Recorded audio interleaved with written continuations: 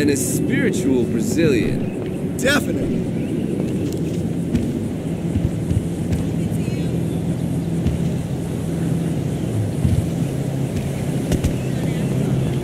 Hey dude, what's going down?